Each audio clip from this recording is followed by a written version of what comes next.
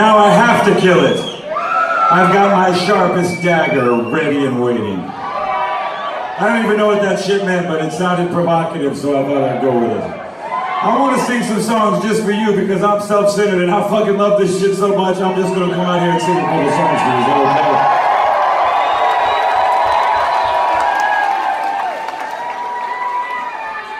okay? Now first, I'm gonna sing a song to my sweetheart without guitar, just for her right now, because she's listening via the radio broadcast that's going down right now.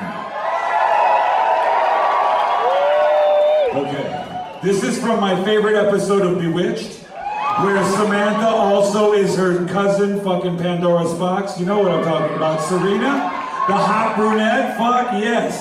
Okay, so here we go. Wherever you are tonight, I got a feeling that you look outside. So I'm gonna blow you a kiss in the wind. And when it reaches your lips, my dear, you're gonna smile and feel me oh so near. So I'm gonna blow you a kiss in the wind. Yeah, blow you a kiss in the wind.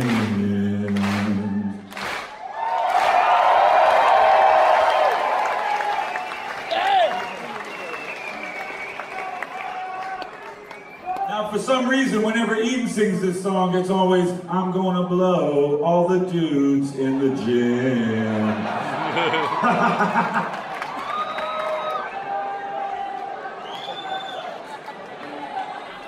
I, I fucking wish I knew a Thin Lizzy song right now. So fucking bad, you have no idea.